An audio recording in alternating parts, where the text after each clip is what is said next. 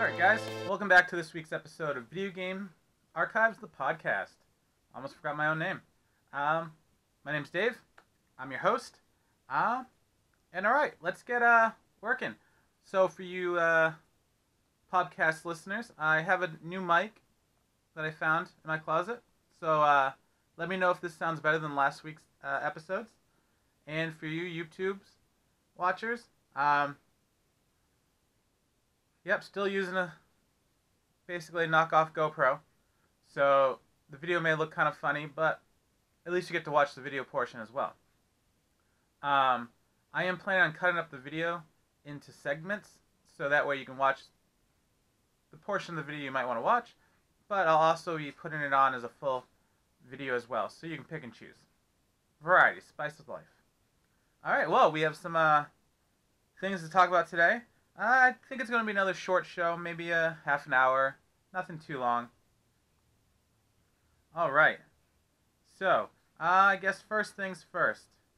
Let's go with some video game news. Um,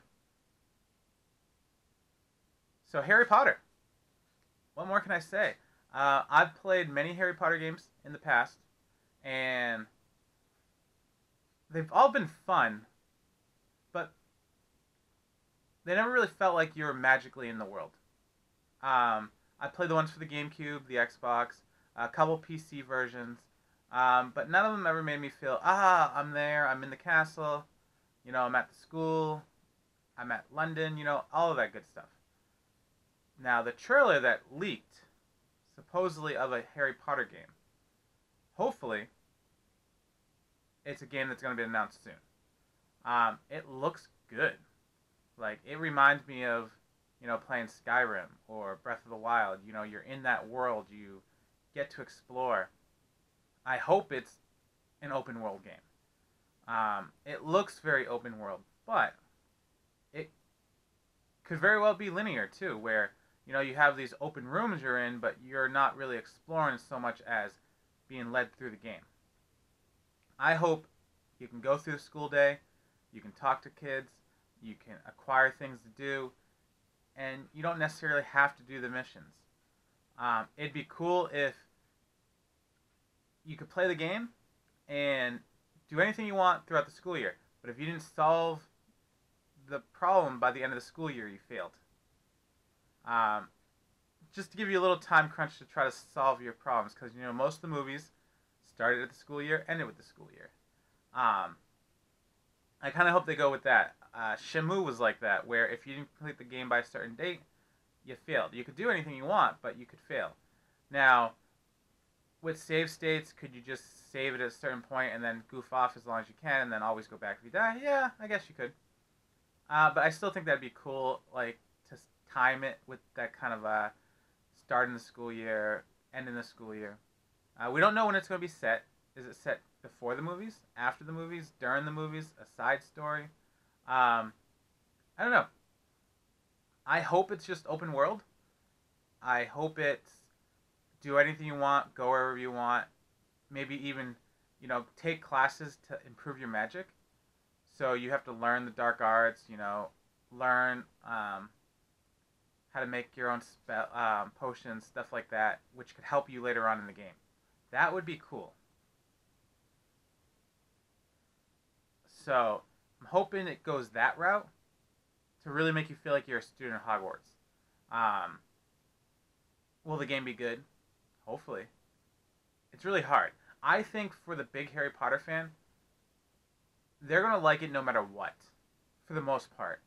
Um, I think I'll enjoy the game no matter what, as long as it's not broken. Um, if you can play it, the world looks good. Like if it looks as good as the video, it'll be a fun game. I mean, I enjoyed the older Harry Potter games, and they didn't look anything as realistic as this. So, yeah, it doesn't really need to be anything special. It looks like you're in the world. You can do the spells as long as the mechanics are there, and it works as good as, say, um, any open world game that's out today that's in B or higher. It should be fine. Um, hopefully, it's not long off but it's probably at least until E3 before we even hear anything about it. Uh, maybe with all the leaks videos, Warner Brothers may release a trailer early to give you a polished look of the game better, so that way they can promote it the way they want to promote it, not just through leaked videos. Um, so yeah, hopefully it turns out into something. Um, so if you guys are Harry Potter fans, let, let me know in the comments, and let me know how excited you are. All right, so moving on. Uh, this isn't video game news, but it's a big talk. Um, it's part of my childhood. It's probably part of a lot of uh, your guys' childhood. Especially if you're into video games, you probably went to this place. Um, so Toy, Sto- Toy Story, Toys R Us is uh, supposedly making a comeback. They canceled their auction, um, and they're not selling off all their brands. Uh, the brief message that they gave is they plan on reasserting itself into the marketing, into the toy industry, and its international presence. Um, what that means, who knows? To me, it makes me think that, you know, they still own all the brand. I bet you there's still stores that they own, uh, buildings that they own, not just leased, that they have footprints that they could easily reopen if they needed to. Um, maybe the plan is, in my mind, would be to shrink the stores in half, um, especially if you had a big store like where I live. Uh, where I live, it's pretty large and a lot of wasted space. If they remodeled correctly, they could probably fit everything that was in my toy store into half the location. And that right there would save the money. You know, they're not spending as much on rent. Uh, rent and utilities is a big issue. At least any money they can save is money they can save. So I think they're going to go with smaller stores, maybe not as many locations in certain states. Like I had a Toys R Us within five minutes of my house, but then I could also drive 20 minutes in two different directions and hit another Toys R Us. Actually, three in, tw- in three different directions hit three Toys R Us. Um, do we need that many? One in each major city in the state where I live? Probably not. Um, I know it'd be convenient, and if it wasn't in the bigger cities, less kids would uh, get a chance to go to Toys R Us. But maybe you have one big location, and then satellite locations on those smaller areas. So that way, you still have a Toys R Us, which is like a fourth of the size of normal Toys Toys R Us stores today and then you have the bigger locations, which are half the size of Toys R Us today, and you still have that footprint, um, and use that as a like a home base for online shopping, pickups, returns, to that way give people a chance to buy online and have a place to return it with ease. I think that would be a good way to help them. Um, and then you know the smaller stores have less employees, so you know they're saving money there. I think it's better to try to save money with less employees, a smaller footprint, and get yourself back on the path than not have your brand anymore. Um, because people are still buying toys. It's just you have to learn how to spend your money wisely and have the stores correctly. And they probably shrink the baby section. Um, we had a large baby section at our store. Our store was a Toys R Us slash Babies R Us, so I mean it makes sense. But the way everything was spread out and displayed lot of room. I get why it would be opened up and spread out, so baby carriages, this and that, but if they stocked it better, they could shrink their stores and still carry a lot of the same items and just help them out overall.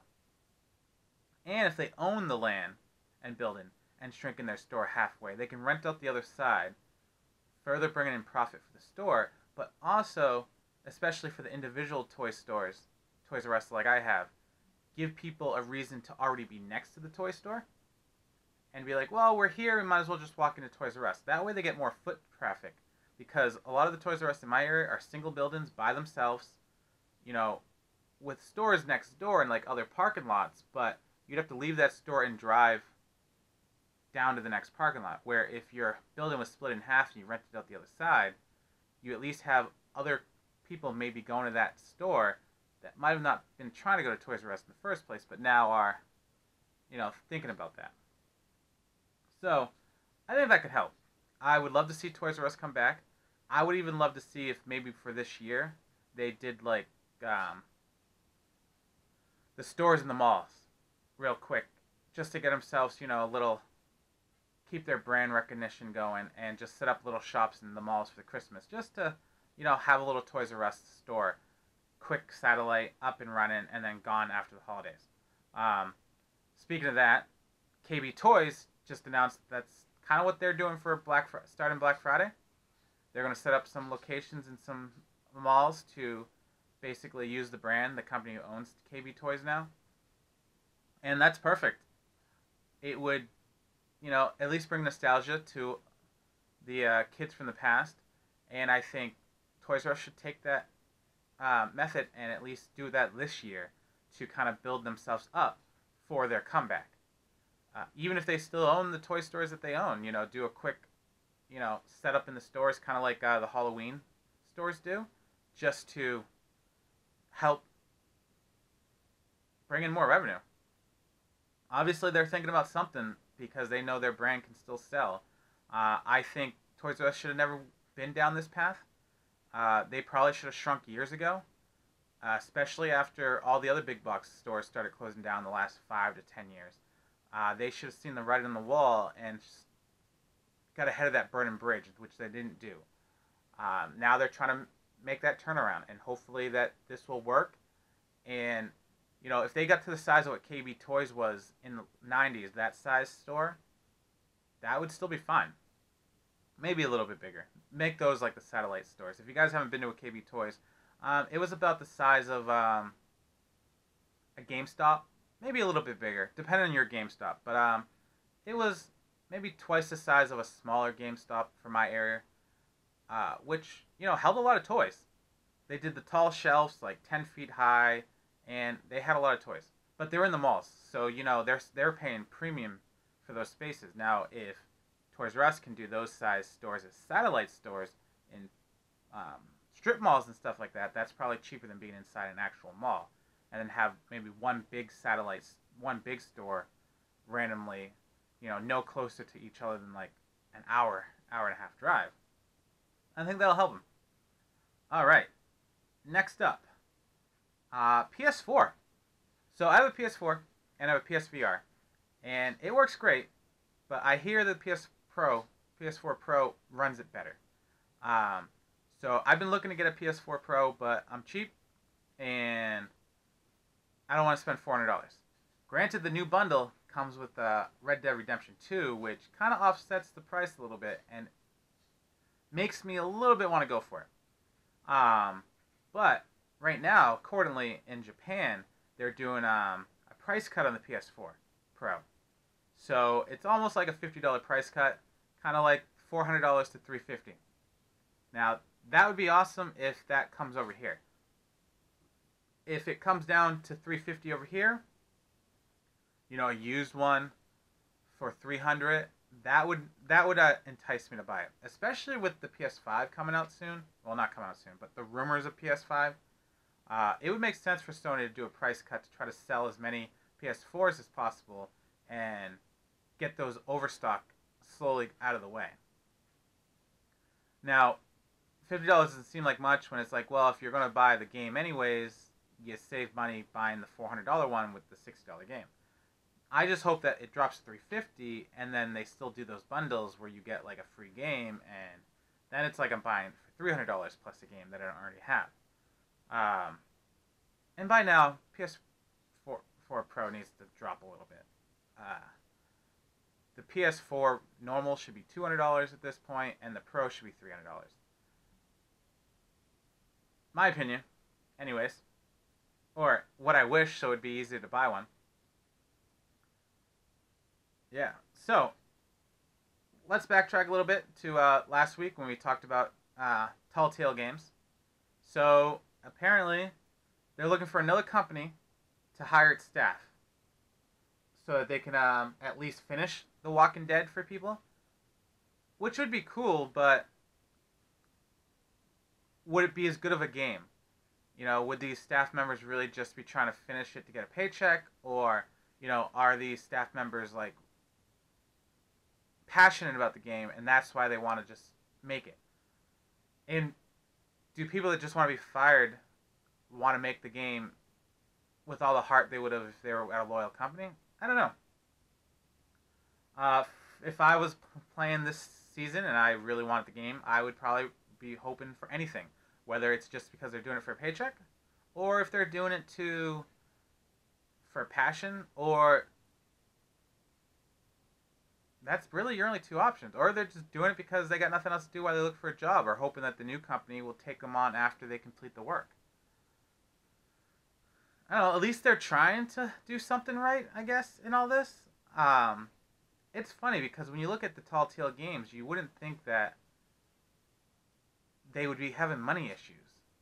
Uh, they seem like games that would be pretty fairly easy to make compared to like the big budget AAA games. Um, I think they just got out of hand with trying to do too many um, tie-in titles. I think they probably should have did more of uh, more um, new IPs that just told a great story and did the same mechanics instead of trying to buy every single popular genre and turning them into series. Granted, I love Back to the Future, but I think they probably should have limited themselves on buying out products and went the whole Netflix original way. Did a couple of like big titles, but then brought their own in to save money. All right, so next up, Nintendo Switch. So news are reporting, people all online are talking about how the rumor of a new Nintendo Switch model could be coming in 2019. Um, that seems right. Uh, new Super new uh, Nintendo 3DS didn't take long for a new version or a new model of it to come out. Nintendo likes to go, you know, XL, uh, new, new XL, all these new features. So for Nintendo to do a new model, that makes sense. Now, there's a couple ways they can go about this.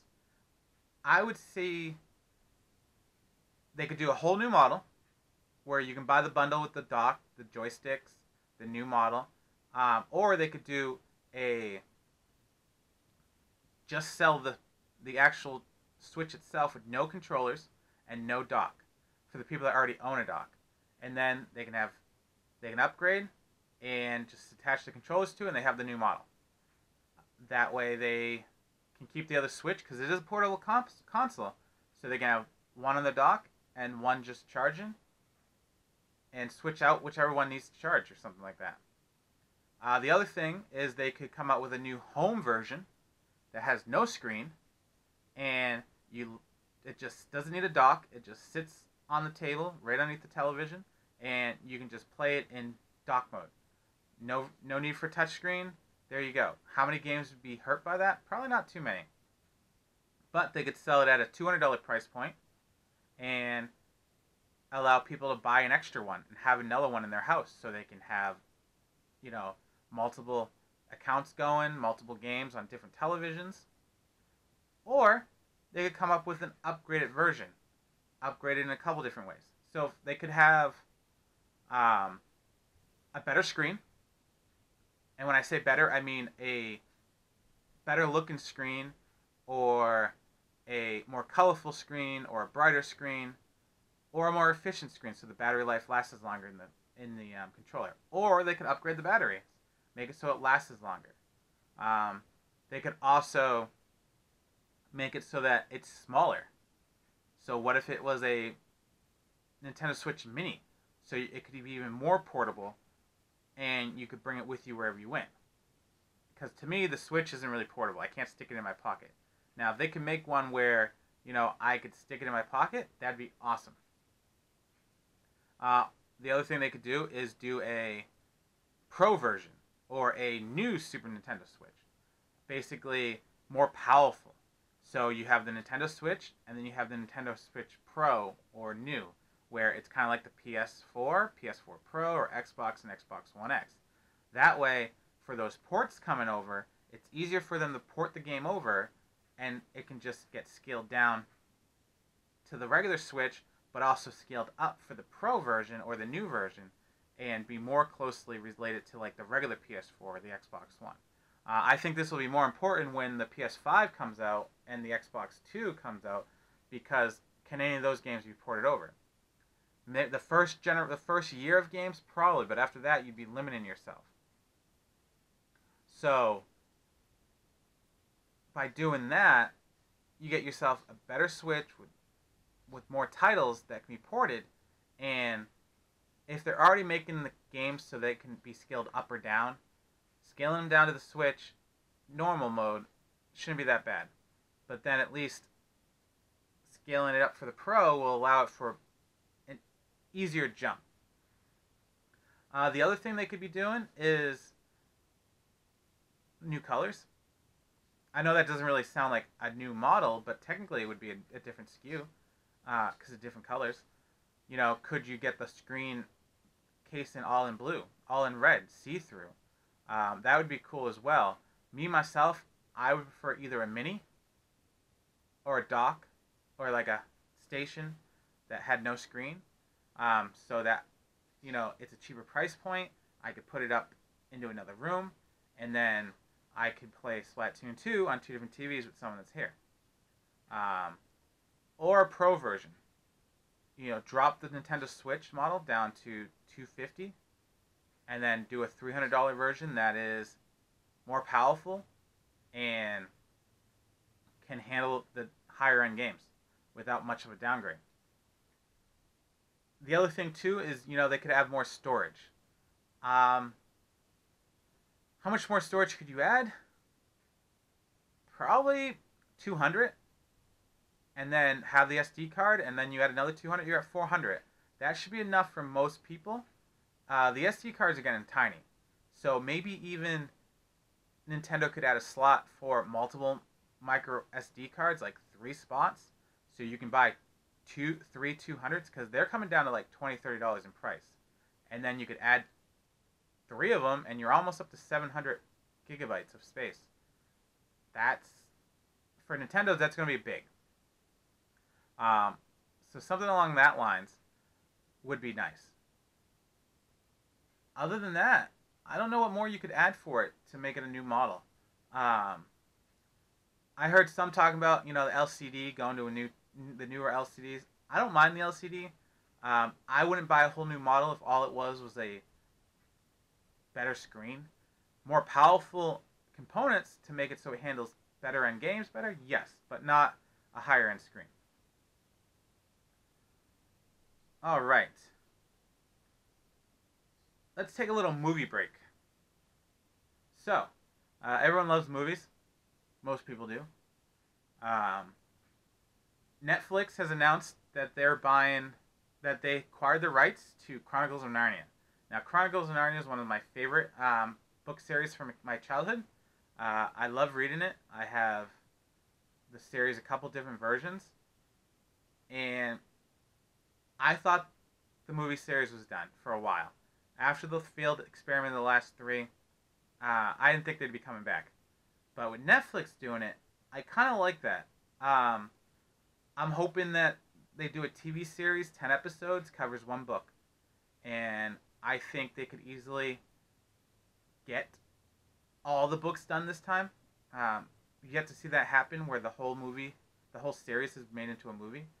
Um, yeah, I'm really excited for that. I hope that comes comes out that way. They say maybe a movie too. I'm not sure if they like plan on doing like the Chronicles of Narnia as the movie, Lion, the Witch, and the Wardrobe, and then all the books as movies, and then do maybe like side stories as a TV series, takes taken inside the universe, like side thing where other people have found their way into Narnia. I know that kind of mess up the uh, the overall story arc of the books, but it could take place after the events of the books. You know, maybe Narnia is reborn in some way. You know, where you can just be like, yeah, all that stuff happened before, long ago, blah blah blah blah, and now we're at this new world. I think that'd be cool.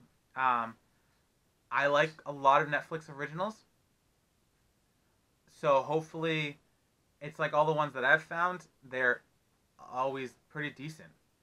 So now the next time I click on a Netflix original, it's probably going to be bad. So that's going to not be fun.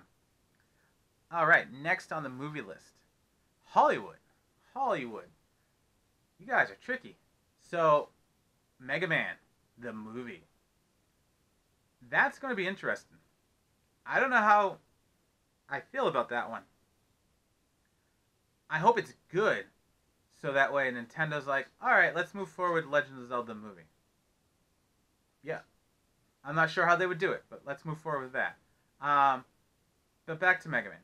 They're making the movie. I hope. I know they probably would never do this, but I hope at some point the mu- music from the Mega Man TV series would pop on. Um, maybe on the radio, all of a sudden you hear and someone just switches it out. I really enjoyed the cartoon, how cheesy it is, but uh, I think I'd watch the Mega Man movie, but I would not expect it to be good. I mean, they can't even make a RoboCop movie that good. So, how do I expect them to take Mega Man, a video game franchise, and especially keep it kid friendly? I feel like if they just went all out Terminator style, Robot Wars, and all that, yeah, that could be good. But they're not going to go that route. So I'm not sure what to expect. I'm glad they're making it. I hope it does well. Um, but we know how video game franchises go. Not usually the best. Um, here's hoping, right? If I was going to do the movie, I probably would set it in the far future and make it a revenge story of Mega Man going after Dr. Wily.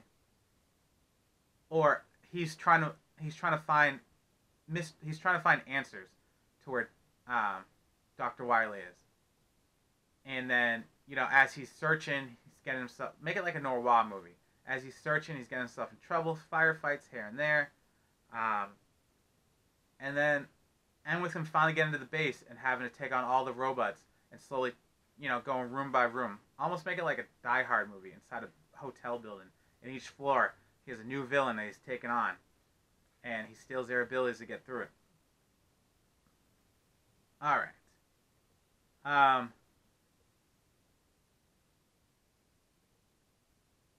So, let's talk about the releases for the week. So this week we got some big games in my mind that I'm actually looking forward to. A couple have already come out. So today's October 4th, if you guys are listening today. Um, so we're going to be talking about the games for October, for the first week of October, anyways. And the big one for me, I will save the big one last. Okay, so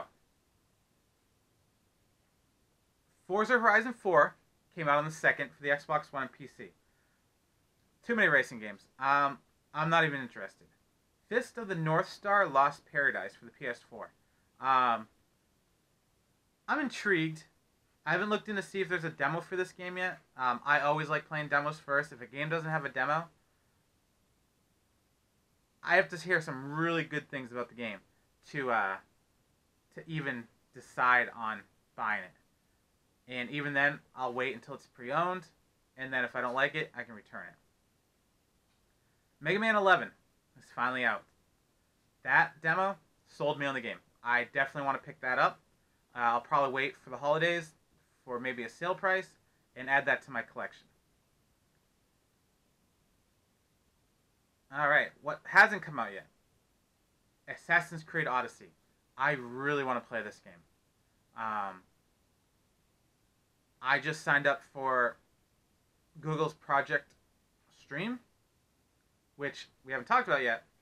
But basically, it's their way of trying to do like a cloud gaming through the web browser, uh, kind of like OnLive or you know PlayStation Networks now, uh, Xbox Game Pass, but f- by Google. Um, not a lot of details out yet, but they did send a beta out. Basically, you can sign up to try it out, and that game is what you can try out. I'm hoping I get the invite to play, so that way I can play it for free, and I can also test out Google's new stream. Uh, I think it's really smart of Google because, you know, if most people have the access to Chrome, and if it works right inside Chrome's browser, you know it's going to work perfect because Google's working with their own browser. So uh, it's not going to be like an app like OnLive. You know, they have a bigger budget, uh, more manpower, and it could be cool, especially if that means you can use it on any browser, any Chrome browser. So if I have Linux, I can use it over there. Mac, that would all be awesome. Um, now, it's going to have to work flawlessly, but you're going to have to have great internet connection. Uh, that's the only thing I dislike because it's almost like you add lag to the game when you have to worry about your internet connection. I like my games to be straight up, don't have to worry about the internet, and play, especially for single player games. But still, the convenience of being able to play in your browser and not have to worry about your PC's power, that would open up a lot of games for me that I would normally not play because I don't like playing on my PC for that reason. Because I don't like to upgrade my PC very often because I usually only use it for web browsing and, you know, simple things like that. And I I just like the ability of a PS4 popping the game, it works. So with the stream, if you can just turn on and you can play the best games that are out without having to worry about graphics cards, any of that, I'd be a happy guy. All right, the last game for the week, the one that I can't wait to play and hope it's just like, not just like, but not like the last one. Uh, Super Mario Party. Um, I really love Mario Party games. My favorite ones are three and five, and four is not bad either. I did not like the last one, where you all got inside a car and basically just drove around the track, or the one before that where they basically got rid of stars and coins and mix, they just all this weird stuff. Um, I wanted to be you collect your coins, you buy your stars. Whoever has the most stars, you win. You're playing on a game board. You're playing against each other, things like that. So as long as it's close to that style of play, that is what I'm looking for. Um, and from the reviews that have been coming out and the videos, it looks more of like a traditional Mario Party, just updated a little bit. Uh, that's what I want, and hopefully this delivers. I'm not getting my hopes too high because of the last one. You know, Nintendo will throw something in the monkey wrench because they want to make the games new again. But let's just keep Super Mario Party like the older ones with new maps and new minigames. That's all you need to keep doing. I bet you this one's going to have downloadable content, season pass of some sort, and just keep adding stuff to it. Uh, so yeah, so those are the games for the week. I'm definitely thinking Super Mario Party is the top game for most people. Assassin's Creed Odyssey is up there too. Uh, so yeah, let me know, guys. Let me know which ones you guys like. Okay. Next up. I think that's it on the list. Um, all right, guys. So that's going to be the end of the uh, podcast this week. Not too much gaming news to talk about. Um, I really like doing the podcast. I want to start a second podcast on like video game topics, not about what's going on uh, weekly on the news and stuff like that. Um, so leave a comment on what kind of topics you'd like to see for uh, video game podcasts, like you know thoughts on retro gaming, uh, emulation, um, systems that are from the past that are still good to play today, things like that. All right, guys. Uh, thanks for watching the podcast will be later up on later up soon. On up soon. I don't even know. The video may take a little bit longer because I want to add a little bit of graphics to uh, the things I was looking at. So uh, thanks guys. Thanks for watching. Thanks for listening. And uh, please subscribe. Hit that bell. Like my videos. Like the podcast. Subscribe to that as well. And follow me on my Facebook and my Twitter. Uh, Video Game Archives. Alright guys. Have a good night.